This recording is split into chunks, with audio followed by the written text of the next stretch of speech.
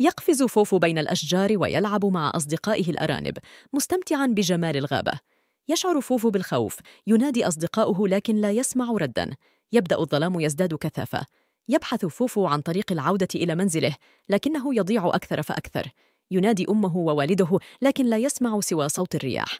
يسمع سيسي صوت بكاء فوفو فيخرج من كوخه ليرى ما يحدث. يخبر فوفو سيسي أنه ضاع عن عائلته فيقرر سيسي مساعدته. يسأل سيسي الحيوانات في الغابة عن عائلة فوفو لكن لا أحد يعرفهم.